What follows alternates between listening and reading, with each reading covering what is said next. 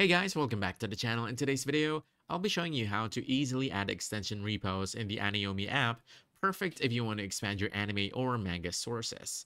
So let's get started.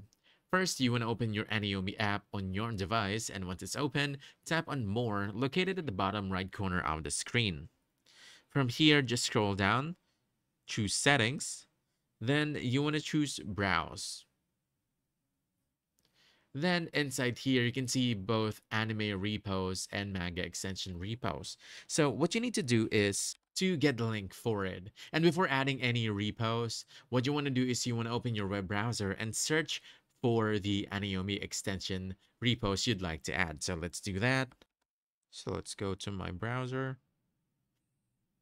And then from here, you want to search for something like uh, Wotaku Aniyomi extension, just like this.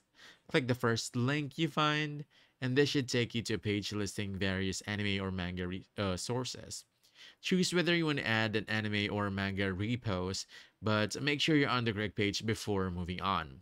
Once you're there, you want to scroll to the auto installation section or just click on uh, installation or add and it will automatically uh, be installed the repos into your Aniyomi app.